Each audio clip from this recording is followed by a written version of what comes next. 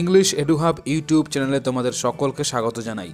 আজকের ভিডিওতে আমরা মাধ্যমিকের এবিটিএ টেস্ট পেপারের সেট নাম্বার চৌত্রিশের গ্রামার এবং রাইটিংয়ের সলিউশন নিয়ে উপস্থিত হয়েছি। ইতিমধ্যে আমাদের চ্যানেলে বেশ কয়েকটি ভিডিও আপলোড করা হয়ে গেছে। তোমরা যারা সেই ভিডিওগুলো দেখোনি, তারা উপরে আই বাটনে ক্লিক করে একবার ভিডিওগুলো দেখে নাও।